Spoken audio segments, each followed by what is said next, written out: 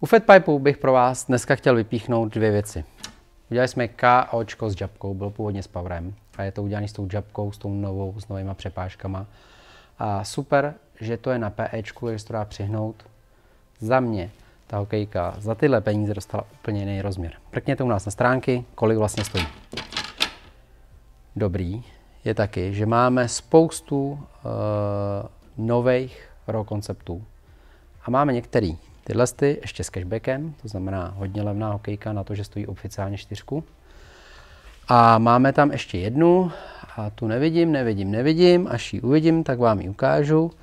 A to je uh, recenzovaná, nebo bude na ní brzo recenze, tahle ta modrá, která je hodně za nadstandardní peníze. Zase raw concept. Takže pokud chcete vyzkoušet raw concept, tak je teďka hodně výhodný a je vhodná doba to vyzkoušet.